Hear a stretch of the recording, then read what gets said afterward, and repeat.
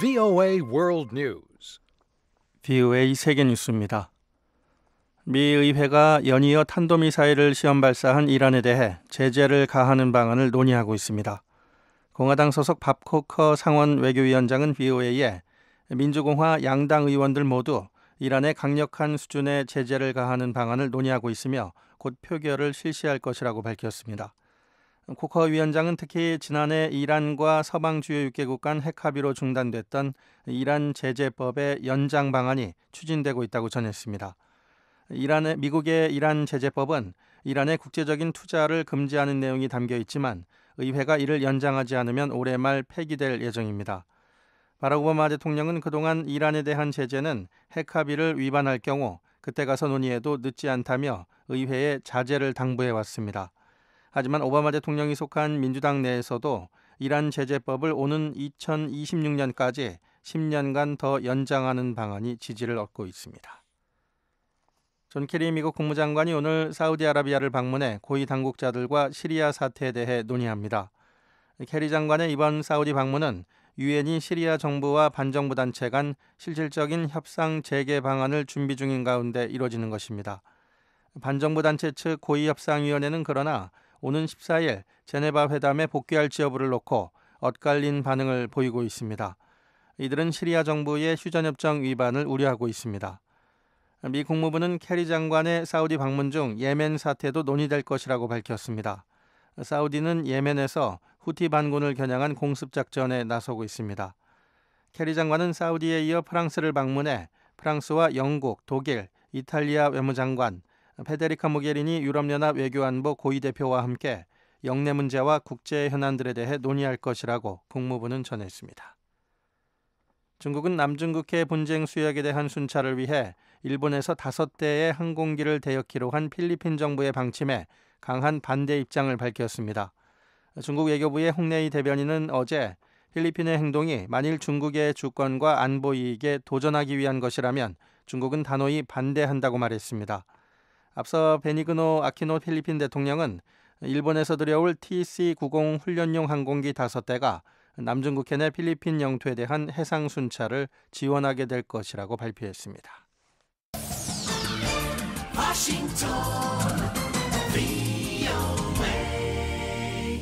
지금 여러분께서는 VOA 세계 뉴스 듣고 계십니다. 미얀마 의회에서 오늘 실시된 대통령 후보 선출을 위한 1차 투표에서 민주화 지도자 아웅산 수치 여사가 이끄는 민주주의 민족동맹이 지명한 후보들이 모두 승리했습니다. 미얀마 하원은 오늘 실시된 투표에서 민주주의 민족동맹이 추천한 틴처 후보가 군부의 통합단결발전당이 추천한 사이마칸 후보를 274대 29로 누르고 압승을 거뒀습니다. 상원에서도 민주주의 민족동맹이 소수민족 배려 차원에서 추천한 헨리 벤티유 후보가 통합단결발전당 후보인 킨 아웅 민트 후보를 148대 14로 꺾고 상원 추천 대통령 후보가 됐습니다. 틴처 후보는 이에 따라 대통령 본선거에서 차기 대통령 당선이 거의 확실시되고 있습니다. 영국 언론이 이슬람 순위파 무장 조직 ISIL에 가담한 해외 전사들의 신상 정보 등이 담긴 기밀 문서를 입수해 보도했습니다. 영국의 스카이 뉴스는 어제 전직 ISIL 요원으로 알려진 인물로부터 입수했다는 수십만 건의 자료가 담긴 전자문서 파일을 공개했습니다.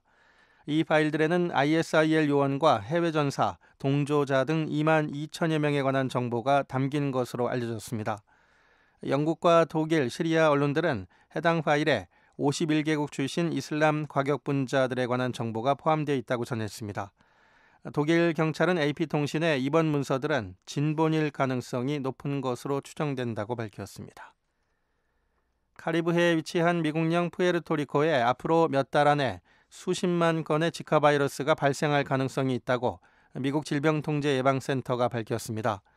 톰 프리든 질병통제예방센터 소장은 어제 기자들에게 지카 바이러스에 맞서 싸우는 데 있어 푸에르토리코를 제1순위로 삼고 있다며 이같이 말했습니다.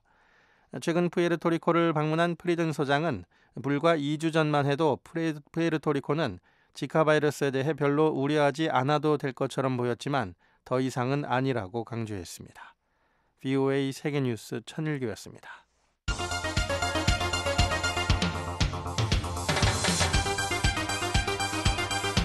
VOA News Today.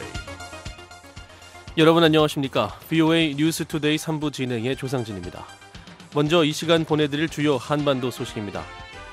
북한 김정은 국방위원회 제1위원장이 핵 공격 능력을 향상시키는 시험을 계속하겠다고 밝힌 데 대해 한국 정부는 경고망동하지 말라고 경고했습니다.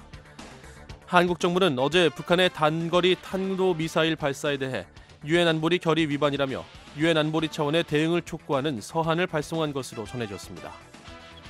내일 북한은 대체로 막다가 밤에 서쪽 지방부터 점차 구름이 많아지겠으나 황해도는 구름이 많고 낮한 때눈 또는 비가 조금 오는 곳이 있겠습니다. 아침 최저 기온은 영하 20도에서 영상 1도, 낮 최고 기온은 영하 6도에서 영상 7도가 되겠습니다. 바다의 물결은 0.5에서 1.5m로 일겠습니다. 첫 소식입니다. 북한이 국제사회의 강력한 제재에 직면한 가운데 김정은 국방위원회 제1위원장은 핵 공격 능력을 향상시키는 시험을 계속 추진하겠다고 밝혔습니다. 한국 정부는 북한의 핵 위협 발언에 대해 경거망동하지 말라고 경고했습니다. 서울에서 김환용 기자가 보도합니다. 북한 관영 조선중앙통신은 김정은 국방위원회 제1위원장이 핵 폭발과 핵 공격 능력 향상 시험을 계속 추진할 것을 지시했다고 11일 보도했습니다. 조선중앙통신에 따르면 김 제1위원장은 탄도로켓 발사 훈련을 참관하며 새로 만든 핵탄두의 폭발 시험과 핵 공격 능력을 높이기 위한 필요한 시험들을 계속하고 핵탄 다종화를 추진해 지상과 공중, 해상, 수중 어느 공간에서도 핵 공격을 가할 수 있게 준비해야 한다고 지시했습니다. 조선중앙통신은 김 제1위원장이 참관한 훈련에 대해선 구체적으로 언급하진 않았지만 지난 10일 감행한 단거리 탄도미사일 발사 현장을 의미하는 것이라는 관측입니다. 한국 정부는 김 제1위원장의 연이은 핵 위협 발언에 대해 경고망동하지 말라고 경고했습니다. 통일부 정준희 대변인입니다.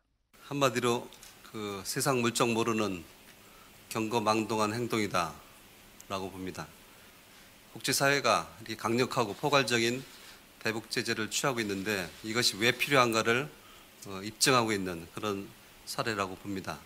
조선중앙통신은 지난 3일 김 제1위원장이 핵탄두를 언제든 쏠 수 있게 준비해야 한다고 지시한 발언을 이어 9일엔 핵탄을 경량화해 탄도로켓의 표준화, 규격화를 실현했다는 발언을 잇따라 보도했습니다.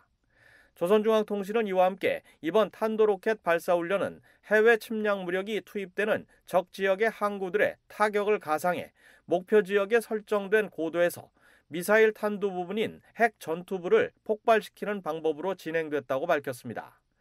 북한 노동당 기관지 노동신문도 김 제1위원장의 이 발사 훈련에 참관 소식을 전하면서 전략군 화력 타격 계획이라는 제목의 지도 사진을 공개했습니다. 이 지도에는 황해북도 황주군 지역부터 동해상으로 두 줄의 탄도 미사일 비행 궤적이 그려져 있고 발사 지점과 탄착 지점으로 보이는 곳에는 여러 개의 숫자가 표기되어 있지만 알아볼 수 없게 모자이크 처리가 되어 있습니다. 서울대 통일평화연구원 장용석 박사는 김 제1위원장의 최근 행보가 국제사회가 제기하고 있는 북한 핵능력에 대한 의혹을 반박함으로써 위협의 강도를 높이는 방식으로 전개되고 있다고 말했습니다.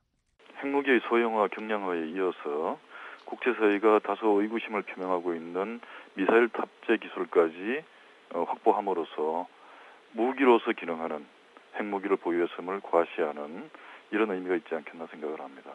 김 제1위원장은 이와 함께 핵탄두 취급 질서를 엄격히 세우고 전략적 핵무력에 대한 유일적 영군 체계와 관리 체계를 철저하게 세워야 한다고 말했습니다. 이와 관련해 한국 외교부 산하 국립외교원의 김한권 교수는 핵무력에 대한 유일적 영군 체계라는 표현은 이번에 처음 사용된 것이라며 북한 최고 지도자와 핵무기가 일체임을 강조함으로써 이른바 체제 붕괴를 기도하는 외부 세력에 경고 메시지를 보낸 것으로 풀이했습니다. 또 비핵화 우선 원칙을 고수하고 있는 미국이나 한국 등 육자회담 관련국들의 압박에 밀리지 않겠다는 의지를 드러냈다는 분석입니다.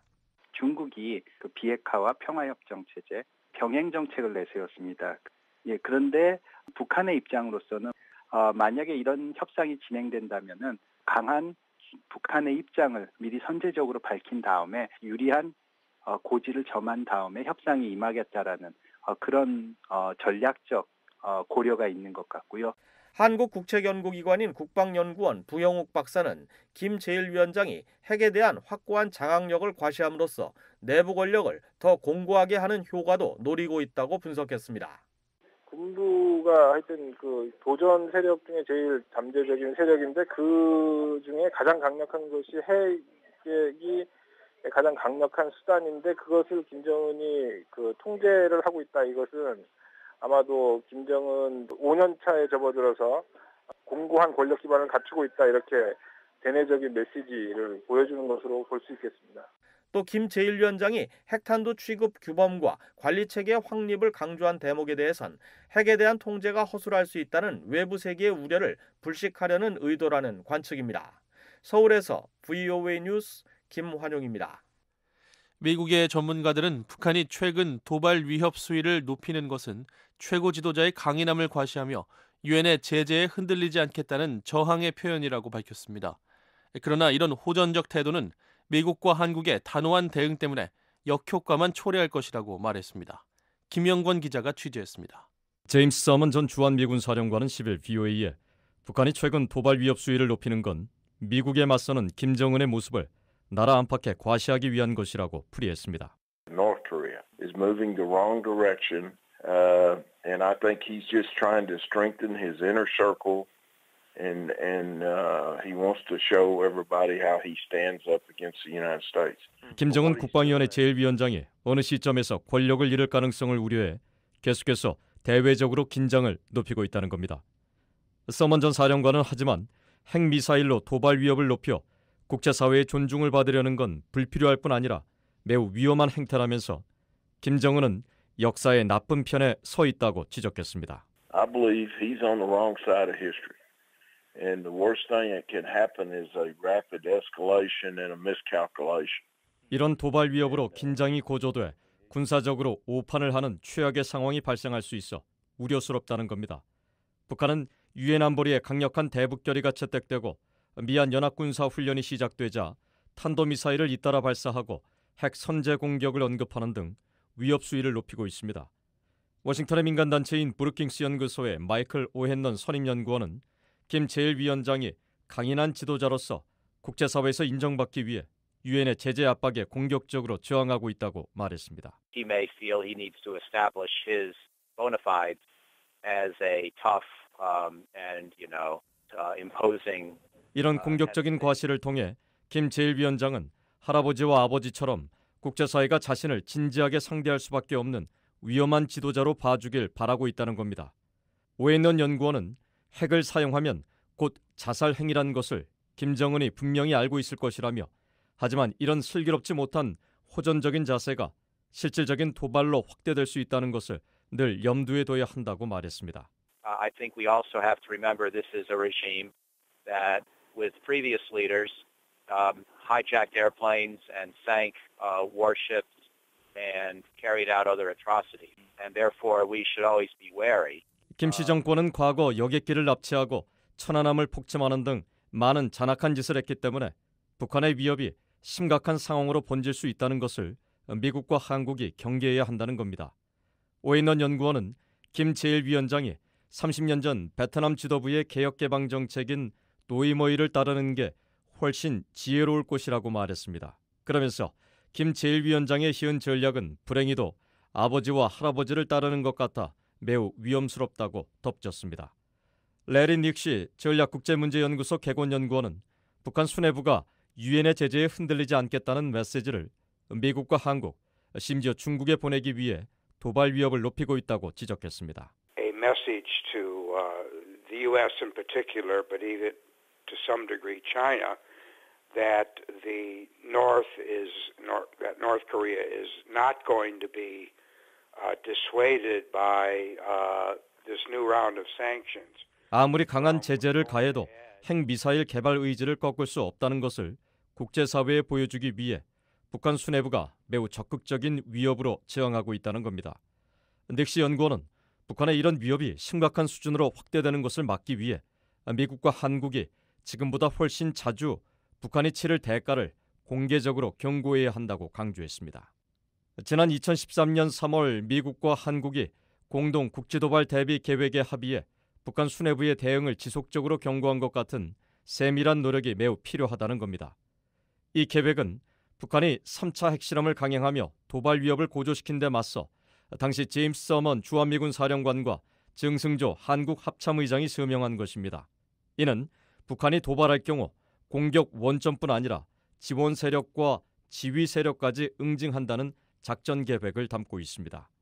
당시 서명을 했던 서먼 전 사령관은 미국이 현재 올바른 대응을 하고 있다며 지금처럼 제재를 더욱 강화하고 강력한 방어 공약으로 도발을 계속 억제하는 게 중요하다고 강조했습니다.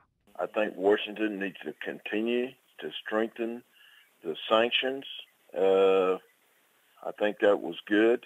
브루킹스 연구소의 오웬넌 연구원은 북한 수뇌부의 잔인함과 도발, 벼랑 끝 전술에 맞선 단호한 자세가 필요하다고 말했습니다. First of all, we need to be firm. We cannot give North Korea the impression that we are persuadable by its brutality or its threat mongering or its brinkmanship. These are not 도발 위협을 받아들이면 북한은 오히려 위협 수위를 더 높이며 더 많은 것을 요구하는 행태를 반복했기 때문에 그런 위협에 결코 동요하지 않을 것이란 단호한 대응이 필요하다는 겁니다. 오에넌 연구원은 하지만 이런 대응이 긴장을 자제시키는 방향으로 가야 한다면서 군사작전 등을 통해 단호한 메시지를 보내면서도 불필요한 언행은 자제하고 새로운 외교 전략을 짜는 게 중요하다고 말했습니다. 뷰이 뉴스 김영권입니다. 한국 정부는 북한이 어제 동해상에 단거리 탄도미사일을 발사한 데 대해 탄도미사일 기술을 이용한 북한의 어떠한 발사도 금지한 유엔 안보리 결의 위반이라며 안보리 산하 대북 제재 위원회에 대응을 요구하는 내용의 서한을 발송한 것으로 전해졌습니다. 정부 관계자는 뉴욕 현지 시간으로 10일 정부 서한이 대북 제재 위원회에 전달됐다고 말했습니다.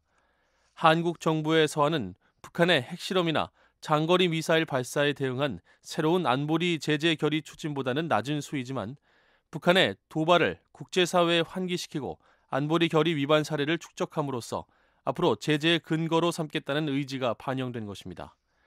대북제재위원회는 통상적으로 서한을 받으면 위원회 전문가 패널에서 조사에 착수하고 조사 결과를 안보리에 보고하는 절차를 밟게 됩니다.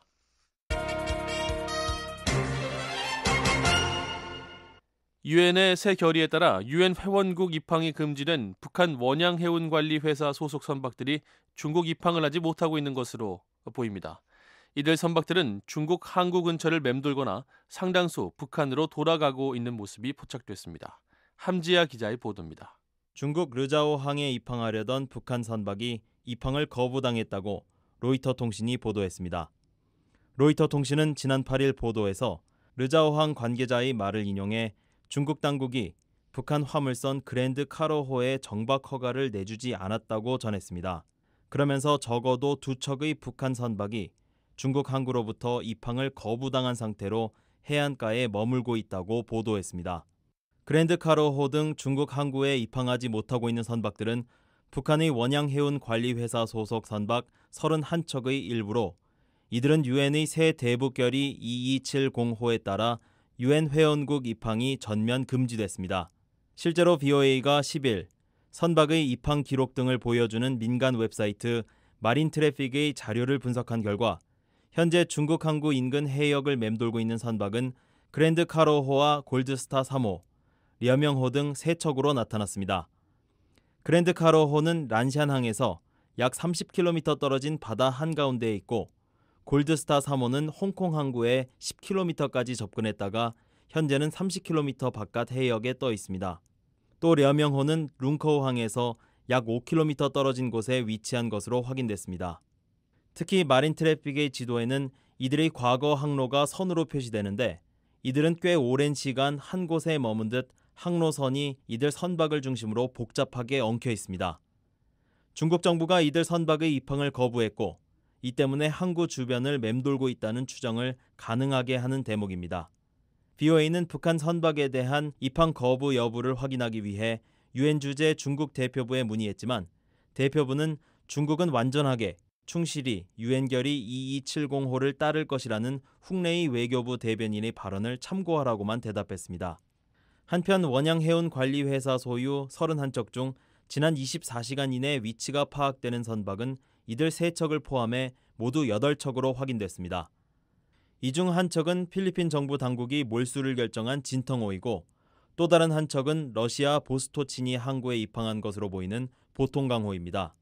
보통 강호는 한반도 시간으로 10일 오후 5시 현재 보스토치니 항에 입항한 것으로 나타나 있지만 실제 하역 작업이나 선원들의 승하선 등이 이루어졌는지는 확인되지 않고 있습니다. BOA는 보통강호의 입항 여부를 확인하기 위해 유엔 주재 러시아 대표부에 문의했지만 답변을 듣지 못했습니다. 그 밖의 세 척은 모두 북한 방향으로 향하고 있는 것이 확인됐습니다. 특히 회령호와 미림 2호는 서해상에서 중국을 출발해 북한 방향으로 가는 항로를 끝으로 레이더망에서 사라졌습니다. 이들 역시 중국 입항 여부는 확인되지 않지만 항로를 추적해보면 출발지가 항구가 아닌 항구 앞바다로 나타나 중국 측으로부터 입항이 거부당한 것으로 보입니다. 또 철령호는 한반도 시간으로 10일 오전 11시께 대한해협 대마도 남쪽 해상에서 북동쪽으로 향하는 모습을 잠깐 나타냈습니다. 지난 2월 22일 이후 행적이 묘연했던 철령호는 선박 자동 식별 장치 AIS를 끈 상태로 항해하다가 일본 해역을 지나면서 단 몇 시간 동안만 위치를 드러낸 것으로 보입니다. 현재 이들 세 척은 모두 북한 항구에 도착했을 것으로 추정됩니다. BOA 뉴스 함지합니다. 개성공단 기업 비상대책위원회는 북한이 어제 개성공단 내 한국 측 자산을 모두 청산하겠다고 밝힌 것과 관련해 한국 정부에 북한 방문을 신청하겠다고 밝혔습니다.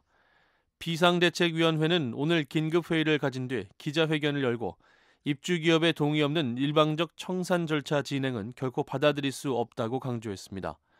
대책위원회는 이어 2013년 개성공단 정상화 합의서와 남북 투자보장 합의서에 명시돼 있듯 남북한 당국은 기업의 투자 자산 등 재산권을 보장할 의무가 있다고 지적했습니다.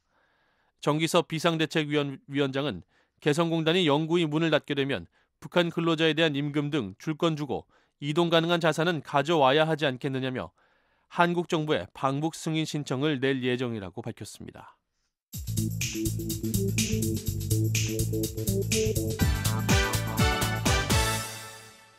스위스가 세계 식량 계획 WFP에 대북 사업에 미화 400만 달러 상당의 지원을 제공했습니다. 어린이와 임산부, 수유모에 대한 영양 지원에 사용될 예정입니다. 김현진 기자가 보도합니다. 유엔 인도주의 업무조정국 오차는 10일 갱신한 국제사회 대북 지원 현황 자료에서 스위스 정부가 세계 식량 계획의 대북 사업에 미화 400만 달러를 지원했다고 밝혔습니다. 스위스는 세계 식량 계획을 통해 분유를 전달하고 있으며 이 분유는 슈퍼 시리얼, 즉 혼합 영양 강화 식품으로 가공돼 취약계층에 제공되고 있습니다. 이 혼합 영양 강화 식품에는 쌀 우유 혼합물과 곡물 우유 혼합물, 옥수수 콩 우유 혼합물 등 세 종류가 있습니다. 앞서 스위스 외무부 산하 스위스 개발 협력처도 BOA에 올해 1,300톤의 분유를 북한에 지원할 예정이라고 밝혔습니다. 개발협력처는 웹사이트에 공개한 대북사업 보고서에서 북한 어린이들이 영양 부족으로 발육 부진과 신체 정신적 장애를 겪고 있다고 밝혔습니다. 또 영양 부족으로 인한 산모와 영아 사망률도 상당히 높다고 지적했습니다. 그러면서 이런 문제를 해결하기 위해 분유를 지원하고 있으며 분유로 가공된 영양 강화 식품은 타가 소아 학교, 병원 내 어린이와 임산부, 수유모 등 취약계층에 지원된다고 밝혔습니다. 보고서에 따르면 스위스는 지난 2009년 이래 북한에 미화 3,400만 달러 상당의 분유를 지원했습니다. 개발협력처는 스위스 당국이 유일하게 현금이 아닌 분유를 직접 구입해 북한에 지원하고 있다며 영양 강화 식품이 영양 부족을 겪는 어린이들의 성장과 회복에 매우 중요한 역할을 하고 있다고 밝혔습니다. 스위스 정부 외에 앞서 호주 정부가 세계 식량 계획의 올해 대북 영양 지원 사업에 미화 220만 달러를 기부했습니다. 러시아 정부도 세계 식량 계획의 대북 영양 지원 사업에 밀 2,500톤을 지원했으며 최근 남포항에 도착했습니다. 이 밖에 유엔 중앙 긴급 구호 기금도 이 기구의 영양 지원 사업에 자금 부족 긴급 지원금 명목으로 미화 287만 달러를 지원했습니다. 자금 부족 긴급 지원금은 인도주의 지원의 필요성은 크지만 자금이 부족한 사업을 위한 기금으로 주로 식량 안보와 영양, 보건 등에 사용됩니다.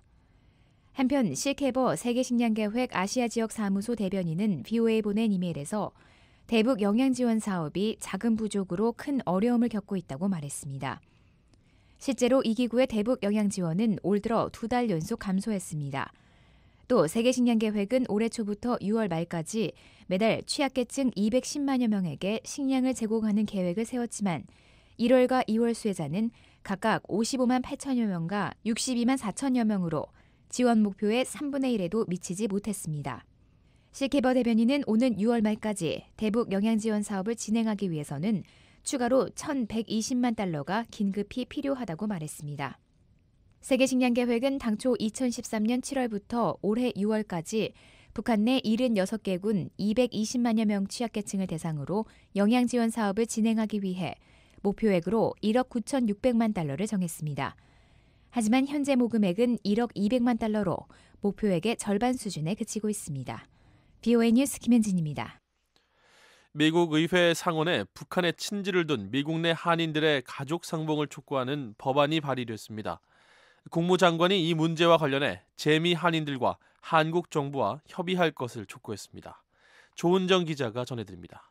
미 상원의 공화당 소속 마크 커크 의원이 9일 북한에 친지를 둔 한국계 미국인 이산가족의 상봉을 위해 협의를 촉구하는 법안을 발의했습니다.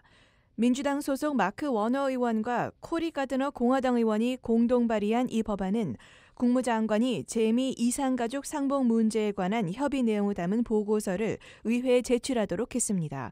구체적으로 국무장관이 이산가족 상봉 기회를 한국 정부 당국과 논의하고 국무부의 대북정책 특별대표는 재미 이산가족들과 적어도 6개월에 한 번씩 협의하라는 것입니다. 법안은 고령의 한국계 미국인 이산가족들의 수가 해마다 줄어들고 있고 이들은 60년이 넘게 북한 내 친지들을 만나지도 못하고 연락을 취하지도 못했다고 지적했습니다. 마크 커크 의원은 10일 VOA에 보낸 이메일에서 이산가족 상봉이 실현되기 전에 시간이 계속 흐르고 있다며 일리노이주에 거주하는 6만 명을 비롯한 한국계 미국인들의 이산가족 상봉을 지원할 공식 창구를 만들어야 한다고 말했습니다. 커크 의원은 이 법안이 가족 상봉을 원하는 수천 가정을 대변하고 희망을 준다고 덧붙였습니다. 커크 의원은 지난해 6월에도 국무장관이 한국계 미국인들의 이산가족 상봉 문제에 더 우선적으로 관심을 기울일 것을 촉구하는 결의안을 발의한 바 있습니다. 또 같은 달 한국전쟁 참전용사인 찰스 랭글 하원 의원과 함께 존 케리 국무장관에게 서한을 보내기도 했습니다. 한국계 미국인들의 북한 내 친지 상봉을 우선시 해달라는 내용이었습니다. VOA 뉴스 조은정입니다. 한국 정부는 북한의 4차 핵실험과 장거리 로켓 발사 이후 대북 정책을 압박 정책으로 전환하고 있는데요. 북한은 이에 대한 도발의 수위를 점차 높이고 있습니다.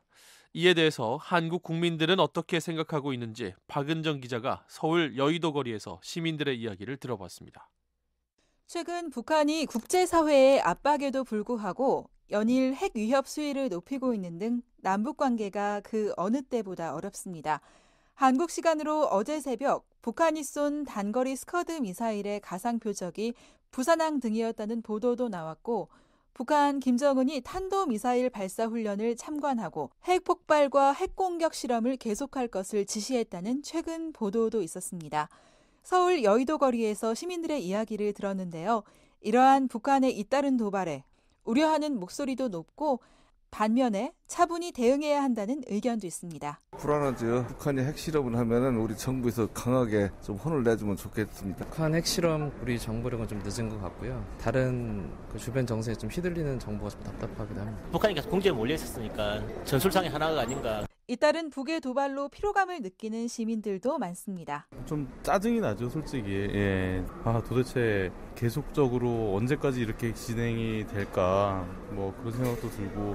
체제 유지 를 위한 어, 과시로 보이는데요. 핵 보유국 인정이 목표일 때고. 뭐 북한의 어떤 뭐 과학적인 기술이나 이런 게 어느 정도 수준인지 솔직히 모르니까 뭐 자기네들이 높이 평가할 수도 있겠고 아니면은 저희가 모르는 뭐 더 높은 뭐 그런 기술이 있을지는 모르겠지만은 그냥 선전용이나 뭐 그런 관점에서 좀 하고 있다라고 좀 보지 뭐 그게 대성공을 거뒀다고는 아직까지는 제 개인적으로는 그렇게 생각을 합니다. 이거는 자기들 살려고 그러겠죠 결국은 그런 방향으로 연구를 했겠지만은 한편 미국 등 제3국과의 공조를 강조하는 목소리도 있습니다. 미국하고 어떤 공조 체제를 가져가지고 그 북한에 대한 어떤 견제 의식을 좀 더 강화시켜야 되지 않을까. 최근 한국의 일관된 강경한 대북 정책에 대한 의견도 있었습니다. 한반도 비핵화를 위해 강경한 대북 정책이 꼭 필요하다는 시민들의 이야기입니다. 좋게 이렇게 하면 늘 이용당하는 부분이 90% 이상이라고 판단되고 근본적으로 이해를 하고 같이 움직일 수 있는 상대방이라야지 베푸는 것도 가능한데 진심으로 사과가 따라야지 후속 조치가 되지 뭐 늘 그러니까 얘기합니까? 다음에 오면 혼내줄 거다. 계속 그거로 일관해서는 안 되지 그때까지 도발을 많이 해왔잖아요. 그 중에 하나라고 생각하는데 그렇다고 이렇게 계속 이런 일이 반복된다고 거기에 익숙해지면 안 되고 저는 강력하게 좀 제재할 차단할 필요 필요가 있다고 생각하고 정책적으로도 북한의 요구를 모두 들어주는 뭐 그러진 않는 게 더 낫지 않을까 싶어요. 북한에서 다른 어떤 긍정적인 반응이 오지 않는 이상은 지금 좀 더 이렇게 강경적으로 나가고 있는 모습도 나쁘지는 않다고 그렇게 생각하는데요. 우리가 뭐 굳이 끌려다닐 필요가 없잖아요. 북한의 전략을 보면 상투적인 게 많이 있거든요. 대란급 전술이라든가 이런 거를 많이 사용하고 있는데 그러한 전술을 사용하더라도 저희가 꾸준하게 일관된 원칙을 가지고 대응을 하고 우리만이 변해야 되고 서로 공존해야 되는데 그들은 뭐 강하다고나 할까 그런 저기가 좀 그래요. 대북 정책은 현재 그대로 고수할 필요가 있다고 생각해요. 저는 그냥 계속 이렇게 강경하게 나간 게 맞다고 보거든요. 우리가 다 퍼져가면서 옛날처럼 그렇게 할 이유는 없는 것 같아요. 지금까지 했던 거를 이어서 좀 나갔으면 좋겠는데 그쪽에서 여러 가지 조건이 많으니까 배란간에 바꾸는 것도 문제가 좀 있지 않냐. 기다리는 것도 한 가지 방법이겠지 지금 강경 대북 정책을 유지해야 된다는 쪽이고요. 어, 앞으로는 계속 대화하자고 하고 뒤로는 딴짓하는 게 북한인 것 같고요. 아직까지는 믿어서는 안 되는 존재인 것 같습니다. 이 전 정권에서도 계속 이렇게 좀 완만하게 했을 때도 한 번도 이렇게 제대로 응한 적이 별로 없었잖아요. 대화. 당연히 우리랑 먼저 해야 된다고 생각하고요 반면 최근 한국 정부의 대북 정책을 비판하는 의견도 있습니다. 같은 민족이 다시 같이 우리가 뭉치려면 그 사람들을 더 줘서 이끌어내야 되고 그래서 그런 쪽에서는 많이 안아줘야죠. 우선 계속 강하게 나가기보다는 우선 북한이 저희랑 어떻게 보면 성격이 많이 틀리잖아요. 그러니까 워낙 어떻게 튈지 모르는 그런 나라기 때문에 북한이 뭐 핵 위협을 하고 있지만 우리 쪽에서는 조금 더 대화로 풀어 나갔으면 좋겠습니다. 지나치게 이게 강하다 보면 부러지는 수도 있고 하니까 어느 정도는 그 융통성을 발휘해 가지고 우리가 그 한 수 위의 어떤 그런 입장에서 좀 유연하게 대처할 필요가 있겠죠. 회사를 다니면서 약간 대립된 의견이 있을 때는 대화를 하면서 풀어야 되는 게 제일 큰 방법이에요. 무조건 얘기를 안 하고 나서 더 고립된 이런 것보다는 대화를 통해서 어느 정도는 서로가 서로를 양보를 하는 북한과 소통하고 얘기를 하면서 대립되는 이런 부분을 조금 풀어 나갔었으면 좋겠어요. 저희도 좀 너무 배타적으로 보지 말고 경제 관계도 뭐 풀어가고 뭐 여러 가지 관계 풀어가야지. 우리 정부가 대북 정책을 강경하게 하는 쪽으로 나가고 있는데 강경책이 아니라 북한을 그러니까 우리가 한민족이니까 안고 가야 될 대상이 되지 않을까. 저는 결국에 최종적인 목표가 통일이고 그런데 통일을 저희가 이렇게 강압적으로 무력으로 할 수 있는 통일은 불가능하다고 생각을 하거든요. 그러니까 즉 그쪽 안에서 저희 쪽으로 이렇게 융화되는 통일이 제일 옳은 답이라고 생각하는데 그러기 위해서는 지금부터 기반을 닦아야 되는 게 계속 손을 내주고 그런 한 민족으로서 좀 이렇게 포용하려고 한다라는 그런 분위기를 조성하는 게 더 중요하다고 생각을 해서 한편 최근 한국 정부의 강경한 대북 정책이 북한의 태도 변화를 이끌어내길 기대하는 목소리도 높습니다. 북한이 열고 나와야지 뭐 우리가 내, 손을 내민다고 해서 그 사람들이 오는 것도 아니고 서울에서 VOA 뉴스 박은정입니다.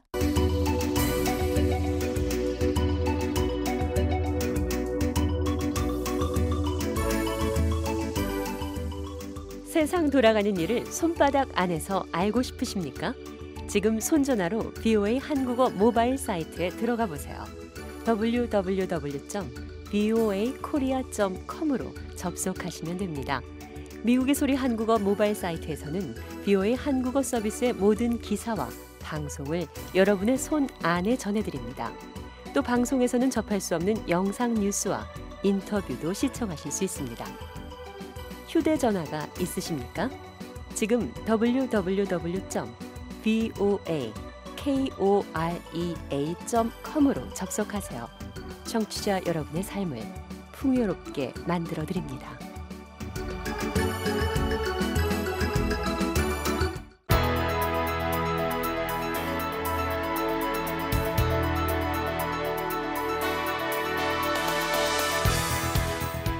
세계 곳곳의 뉴스와 미국 뉴스를 정리해드리는 세계는 지금 시간입니다. 박영서 기자와 함께하겠습니다. 안녕하십니까? 네, 안녕하십니까? 네, 오늘은 어떤 소식들이 들어와 있습니까? 네, 바락 오바마 미국 대통령이 지난 7년간의 외교 정책에 대한 자신의 견해를 밝혔습니다. 이 소식 먼저 전해드리고요. 이어서 동일본 대지진 5주년을 맞은 일본에서 희생자 추모 행사가 열린 소식, 그리고 유엔 인권 이사회가 중국의 인권 상황을 비판하는 성명을 발표한 소식과 어제 플로리다주에서 있었던 공화당 경선 후보 토론회 소식 차례로 정리해 드리겠습니다. 네. 자, 먼저 오바마 정부의 외교 정책에 관한 소식부터 좀 살펴볼까요? 예, 바락 오바마 미국 대통령의 임기가 이제 1년도 채 남지 않았는데요. 오바마 대통령이 미국 애틀란틱 매거진과의 인터뷰에서 지난 7년간의 외교 정책에 관한 견해를 밝혔습니다. 오바마 대통령은 이 인터뷰에서 이 다양한 현안들에 대해서 설명했는데요. 미국이 모든 문제를 해결할 수가 없으며 동맹국과의 협력이 중요하다고 강조했습니다. 네. 이 오바마 정부는 시리아 사태 해결과 또 ISIL 대응 격퇴를 위한 노력에서도 현지 동맹국들의 역할을 강조하고 있죠. 예, 맞습니다. 이 시리아 사태뿐만 아니라 이 우크라이나 사태 또 남중국해 갈등 같은 문제에서도 미국이 주도적으로 나서기보다는 동맹국들과의 협력을 통한 대응을 강조해 왔는데요. 특히 오바마 대통령은 미국의 안보에 직접적인 위협이 되지 않는 문제까지 미국이 해결하려 해서는 안 된다고 강조했습니다. 네.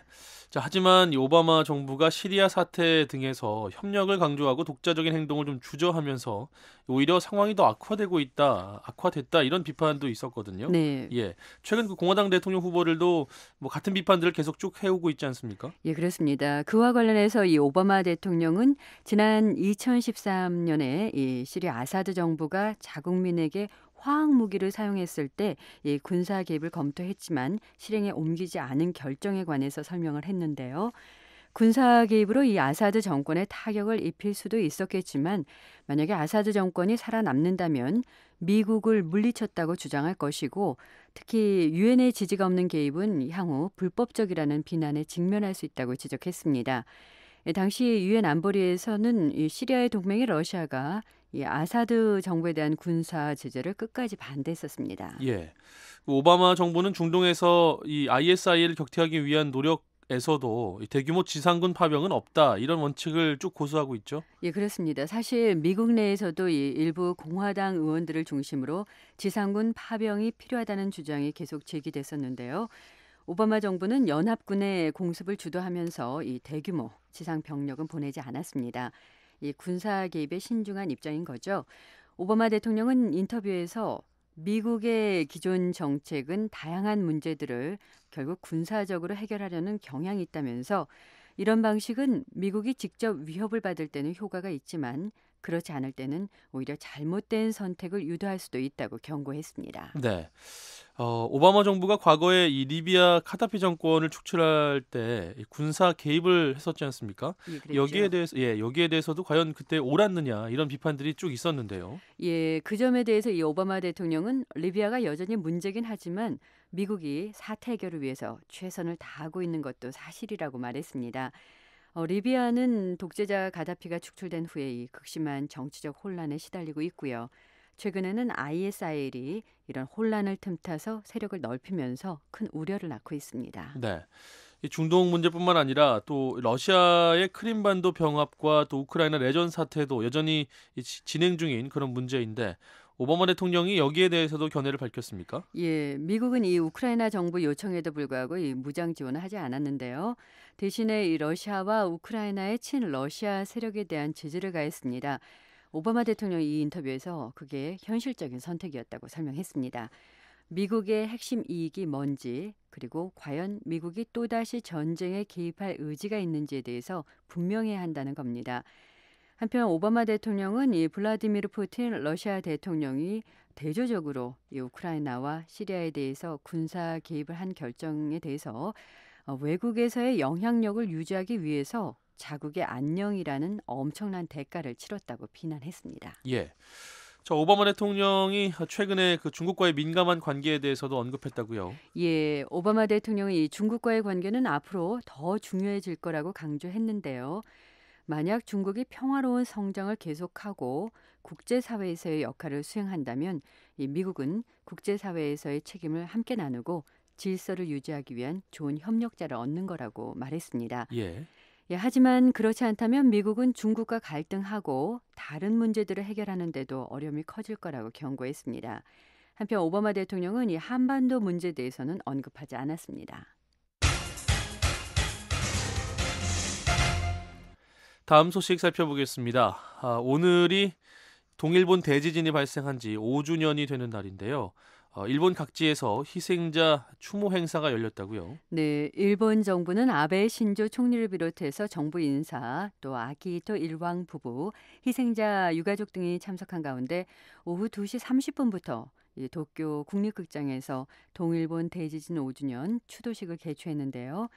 어, 시작 시간을 2시 30분으로 정한 건 5년 전 지진 발생 시각이 오후 2시 46분이었기 때문입니다. 예. 예, 이 시간에 맞춰서 1분 동안 묵념하고 아베 총리와 아키히토 일왕이 추도사를 낭독했는데요.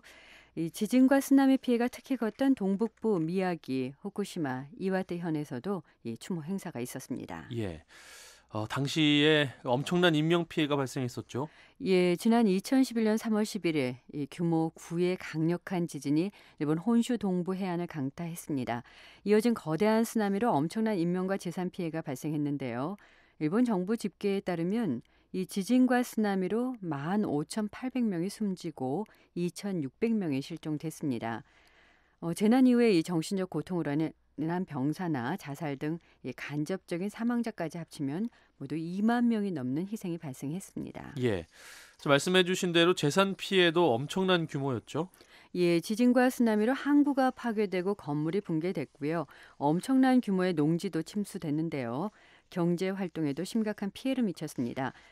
일본 정부는 이 총 재산 피해 규모를 1,490억 달러로 추산했는데요. 이는 일본 올해 국가 예산의 17%에 달하는 엄청난 규모입니다. 네. 자, 동일본 대지진이 발생한 지 이제 5년이 지났는데 그동안의 피해 복구 상황은 어떻습니까? 예, 상당한 복구 작업이 있었지만 아직 완전히 정상화하기까지는 많은 시간이 필요한데요. 네. 예, 일본 농림수산성 발표에 따르면 피해 농지 중에 74%가 복구됐고요. 피해를 본 어항 중에 73%만 기능이 완전히 회복됐다고 합니다. 한편 지진으로 발생한 난민 중에 17만 4천 명은 아직도 고향으로 가지 못하고 있습니다. 예. 한 전체의 70% 정도만 복구가 됐고 아직 돌아가지 못하는 사람들도 여전히 남아 있는데 네. 자, 일본 정부가 추가 피해 복구 지원 계획을 발표했다는 소식이 있군요. 예, 앞으로 5년 동안 미화 600억 달러의 예산을 추가로 지원하는 이 부흥 기본 방침을 발표했습니다. 네. 예, 일본 정부가 지금까지 이미 투입한 금액도 2,200억 달러인데요. 아베 총리는 지진 피해 주민들이 하루라도 빨리 안심하고 생활할 수 있도록 지원에 전력을 다하겠다고 약속했습니다.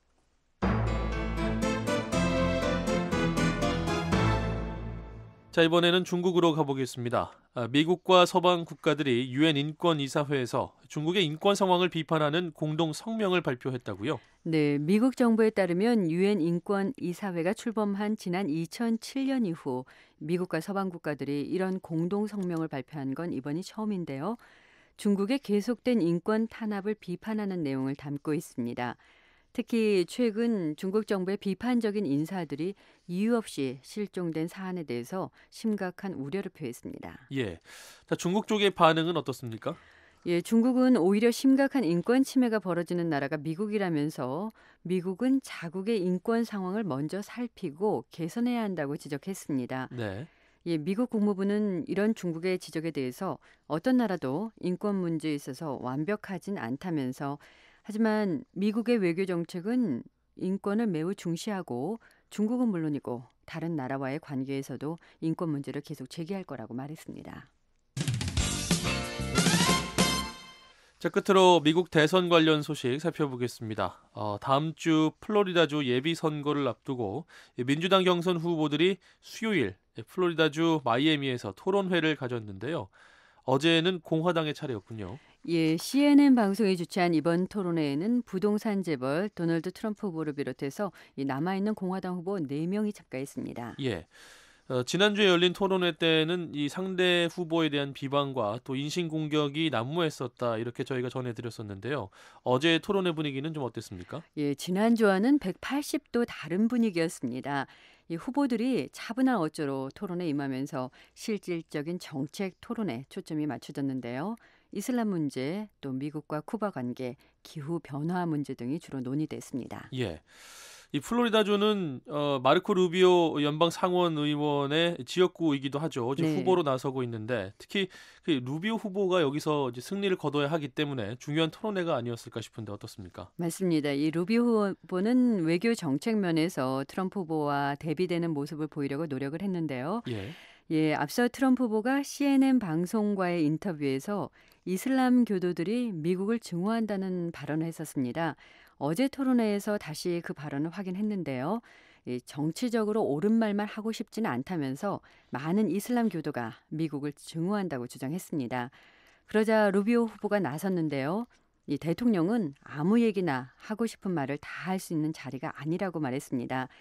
이슬람 수니파 무장단체와 싸우려면 요르단, 사우디아라비아, 이집트 등 이 중동 이슬람 국가들의 협력이 필요하다는 지적이었습니다. 예.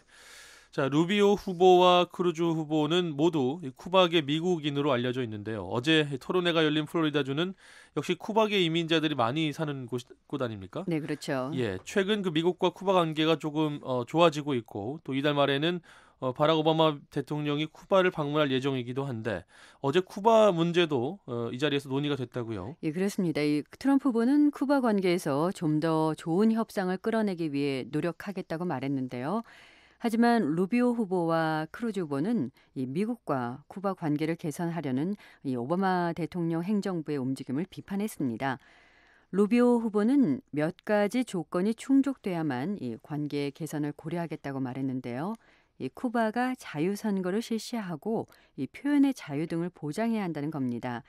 사실 플로리다주에 거주하는 쿠바계 미국인들 가운데는 쿠바 카스트로 정권에 반대하는 사람이 많습니다. 예. 그 지금까지 경선 결과를 보면은 트럼프 후보가 여전히 선두주자 자리를 지키고 있고 그 크루즈 후보가 그 뒤를 2위를 하고 있는 그런 양상인데요. 어제 크루즈 후보는 어떤 이야기를 했나요? 예, 크루즈 후보는 그동안 트럼프 후보가 진정한 보수주의자가 아니라고 비판해 왔는데요. 어제도 그 점을 꼬집었습니다. 예, 트럼프 후보가 과거에 이 민주당 정치인들 또 워싱턴 기성 정치인들에게 후원금을 제공한 사실을 지적하면서 어떻게 그런 후보를 믿을 수 있느냐고 반문했습니다. 예. 자, 다음 주 화요일에 이제 오하이오주에서도 선거가 실시되는데 바로 이존 케이식 후보가 주지사로 있는 곳입니다. 어, 케이식 주지사는 오하이오에서 승리를 못할 경우에 이 후보를 사퇴하겠다 이런 이야기를 했었다고요. 예, 앞서 그런 얘기를 했었는데요. 하지만 지금은 오하이오에서 반드시 승리할 것이라는 이 자신감을 보이고 있습니다. 예. 예, 케이식 주지사는 그동안 그랬듯이 이 하원 군사위원회와 주지사 경력 등 이 자신의 경험을 내세우는 데 초점을 맞췄는데요. 어제 여러 전문가들은 이 토론회의 승자로 마르코 루비오 후보를 꼽았습니다. 이 논리 정연하고 자신감 있는 태도를 보였다는 건데요. 하지만 지지율을 올리기에는 너무 늦은 게 아니냐 이런 지적도 있습니다. 예. 자, 여기서 공화당 후보들의 지지율 상황을 한번 살펴보죠. 예, 최근 여러 여론조사에서 트럼프 후보가 플로리다주와 오하이오주에서 선두를 달리고 있는데요. 하지만 플로리다주에서 트럼프 후보와 루비오 후보 간의 격차가 점점 줄어드는 조짐도 나오고 있습니다. 어제 나온 이 서퍽 대학교 여론조사와 워싱턴 포스트 유니비전 여론조사에서는요. 이 두 후보 간의 차이가 각각 9%포인트, 7%포인트였는데요. 앞서 나온 CNN 조사에서는 15%포인트 이상의 차이가 있었습니다. 한편 공화당 대통령 후보 경선에 나섰다가 이 중도 사퇴한 이 벤 카슨 후보가 이 조금 전에 기자회견을 갖고 트럼프 후보를 지지하겠다고 공식 선언했습니다. 네. 자, 오늘은 여기까지 듣겠습니다. 세계는 지금 박영서 기자와 함께했습니다. BOA 한국어 방송은 www.boakorea.com으로 접속하시면 다시 들으실 수 있습니다. 다시 듣고 싶은 프로그램이나 방송 원고를 보기 원하시는 분은 www.boakorea.com을 방문하시기 바랍니다.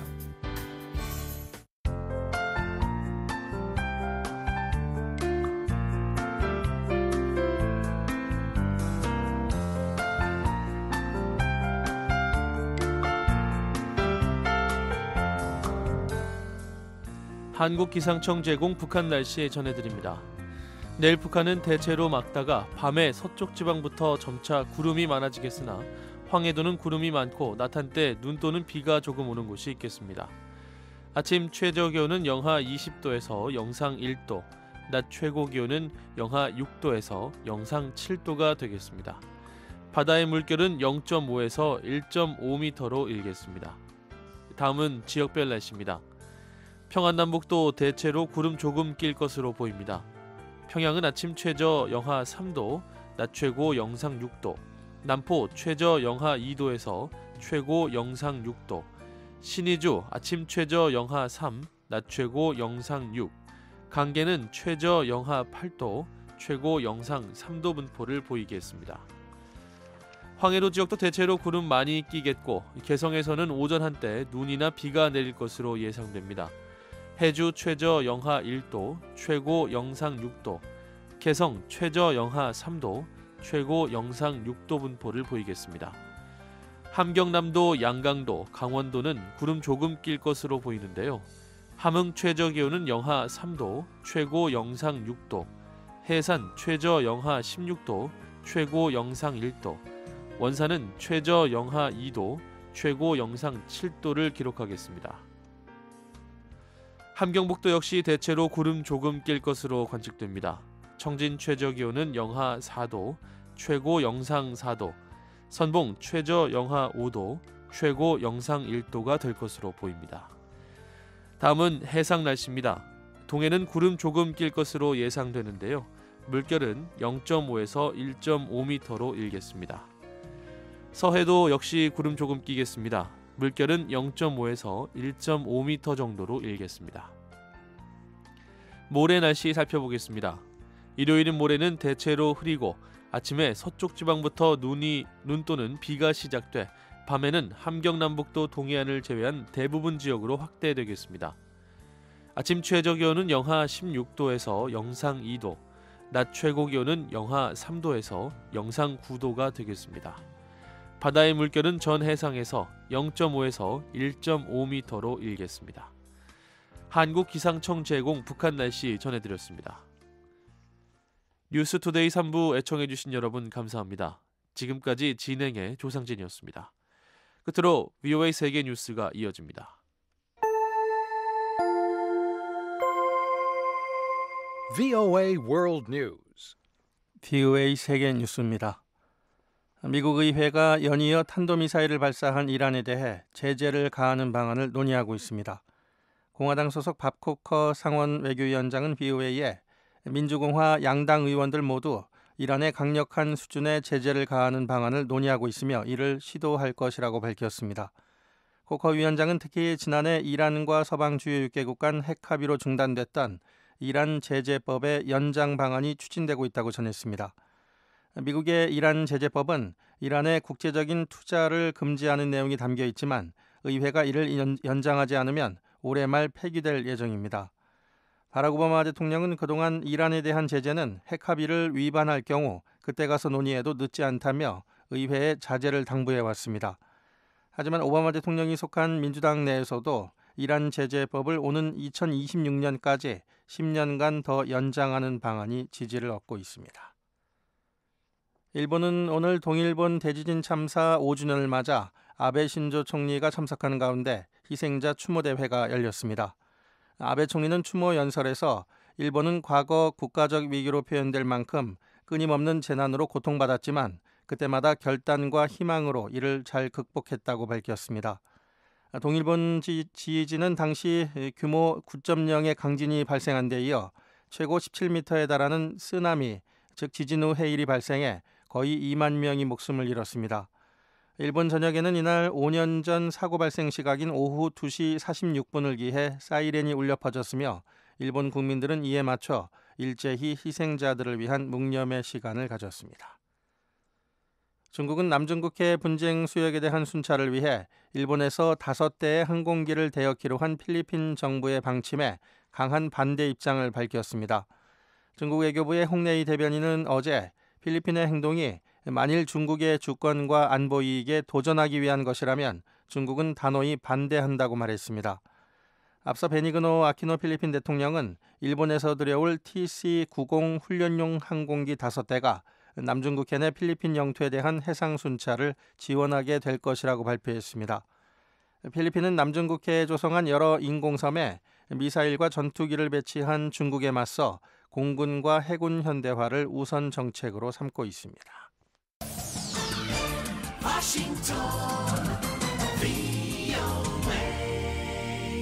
지금 여러분께서는 BOA 세계 뉴스 듣고 계십니다. 미얀마 의회에서 오늘 실시된 대통령 후보 선출을 위한 1차 투표에서 민주화 지도자 아웅산 수치 여사가 이끄는 민주주의 민족 동맹이 지명한 후보들이 모두 승리했습니다. 미얀마 하원은 오늘 실시된 투표에서 민주주의 민족동맹이 추천한 틴처 후보가 군부의 통합단결 발전당이 추천한 사이마칸 후보를 274대 29로 누르고 압승을 거뒀습니다. 상원에서도 민주주의 민족동맹이 소수민족 배려 차원에서 추천한 헬리 벤티유 후보가 통합단결 발전당 후보인 킨 아흥민트를 148대 14로 꺾고 상원 추천 대통령 후보가 됐습니다. 틴처 후보는 이에 따라 대통령 본선거에서 차기 대통령 당선이 거의 확실시되고 있습니다. 이와 함께 헬리 벤티유 후보와 군부가 추천한 인사가 각각 부통령으로 결정될 전망입니다. 미얀마의 대통령 본선거는 다음 주에 실시될 예정입니다. 영국 언론이 이슬람 순위파 무장 조직 ISIL에 가담한 해외 전사들의 신상 정보 등이 담긴 기밀 문서를 입수해 보도했습니다. 영국의 스카이 뉴스는 어제 전직 ISIL 요원으로 알려진 인물로부터 입수했다는 수십만 건의 자료가 담긴 전자문서 파일을 공개했습니다. 이 파일들에는 ISIL 요원과 해외 전사, 동조자 등 2만 2천여 명에 관한 정보가 담긴 것으로 알려졌습니다. 영국과 독일, 시리아 언론들은 해당 파일에 51개국 출신 이슬람 과격 분자들에 관한 정보가 포함되어 있다고 전했습니다. 독일 경찰은 AP통신에 이번 문서들은 진본일 가능성이 높은 것으로 추정된다고 밝혔습니다.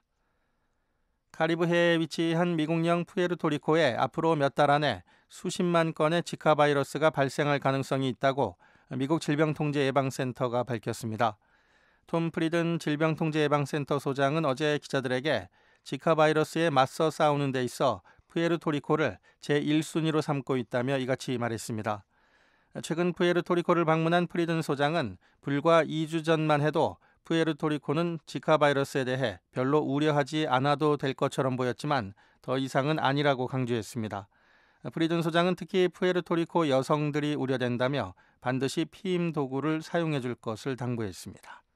BOA 세계뉴스 천일규였습니다.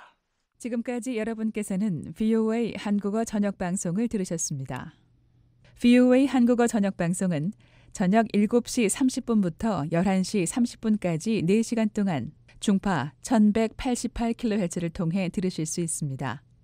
밤 8시 30분부터 11시 30분까지 3시간 동안은 단파 7460kHz와 11990kHz로도 저희 방송을 함께 하실 수 있습니다. 또 밤 8시 30분부터 9시 30분까지 1시간 동안 단파 9490kHz, 밤 9시 30분부터 11시 30분까지는 단파 11,935kHz로도 들으실 수 있습니다. 그리고 매일 아침 3시 30분부터 5시 30분까지 2시간 동안 보내드리는 VOA 한국어 아침 방송은 단파 5,875, 7,365, 7,485kHz로 들으실 수 있습니다. 함께 해주신 여러분 고맙습니다. 다음 방송 시간까지 안녕히 계십시오.